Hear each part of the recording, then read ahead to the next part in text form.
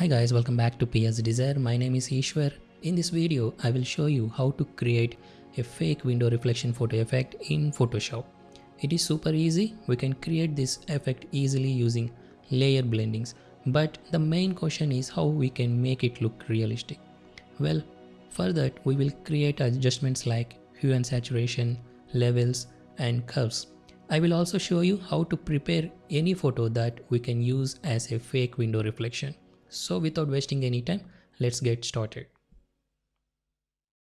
Here is the photo I'm going to use for this tutorial. You can use any kind of photo, your wish, but I recommend using this effect only on indoor photos.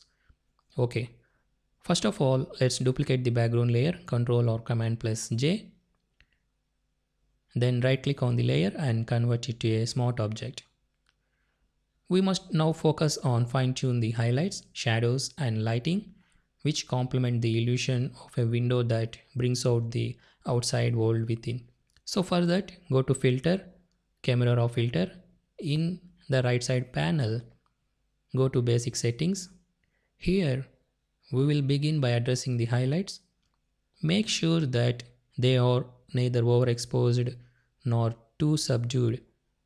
I will keep it at 11 I'm going to lower the shadows by minus 22, whites by minus 31 and blacks by plus 20. I will reduce the overall brightness of the image by half a stop, decrease the exposure value by 0.50 and increase the contrast by 24.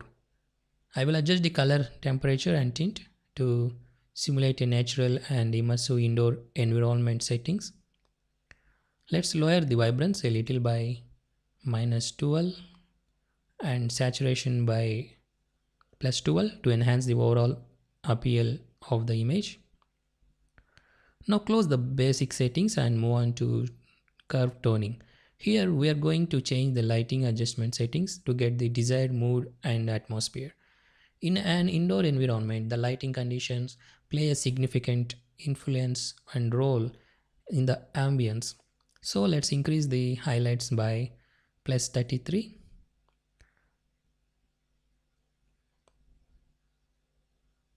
Lower the lights a little by minus 8.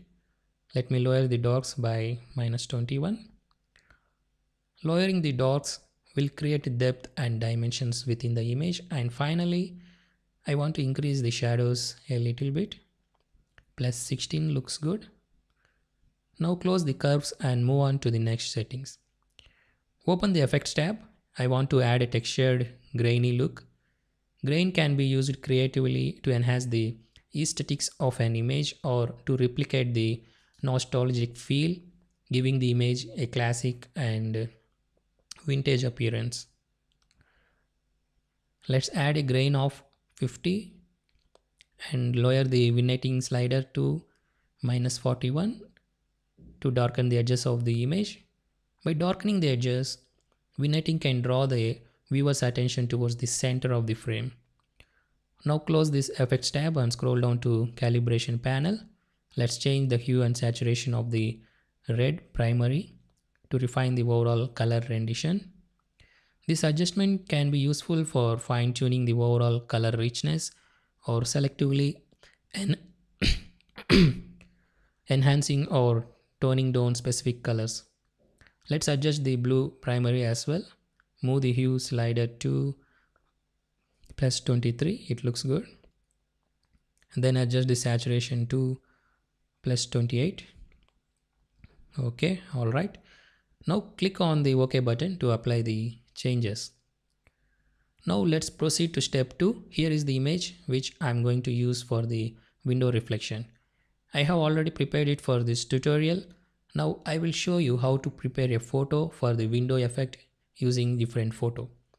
For the window photo, I suggest you to use outdoor photos. For main subject, use the indoor photos and for the window reflection photos, use outdoor photos and keep that in mind. So here is the sample photo and duplicate it by pressing Ctrl or Command plus J. Then go to filter menu, select blur and choose Gaussian blur. Don't overdo it just apply a small amount of blur like this it's enough click ok now lower the opacity of the layer just a little bit 98% should be okay and save the photo as .png now your window photo is ready you can use this photo to create a fake window reflection effect next drag and drop the window reflection photo onto the working document press ctrl or command plus t to scale it according to your preference now let's determine the best blending mode for this effect. Obviously screen is the right choice so change the layer blending mode to screen. Now let's rename the top layer to reflection and the bottom layer to model. Take a look at the effect. It looks too bright and we need to fine tune it to achieve a balanced and natural look, bringing out the desired details in the scene. The first adjustment I will add is a hue saturation layer. Before we making any adjustments, click on the small icon to clip the adjustment to the reflection layer below.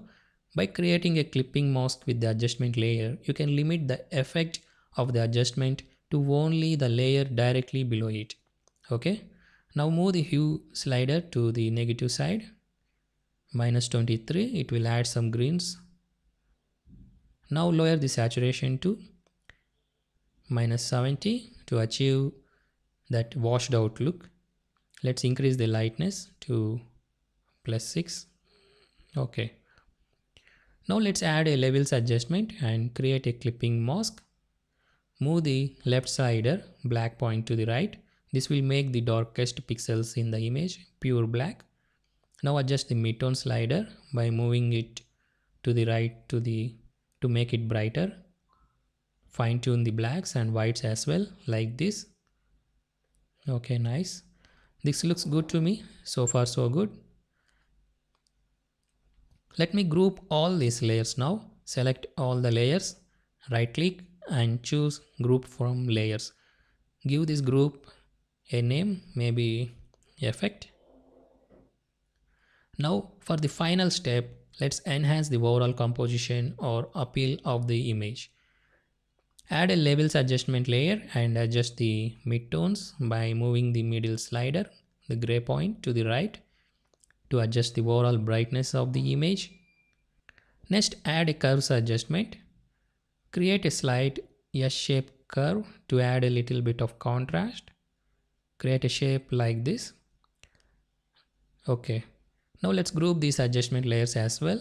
Select both adjustment layers, right click and select group from layers. Give this group the name adjustments. Alright. Now all the layers are non-destructive so you can change any settings or adjustments anytime to your liking. And that's it. Here is the before and after effect. I hope you like this tutorial. Try applying this effect to your photos and you will love it. Thanks for watching. Please like, share and comment. Don't forget to subscribe for more Photoshop tips, tricks and techniques. Hit the bell to receive notifications from this channel. Please consider supporting me on Patreon and also click on join button to become a channel member for direct downloads like PSD files, actions, brushes and much more. That's it. See you guys in my next video. Take care. Happy editing.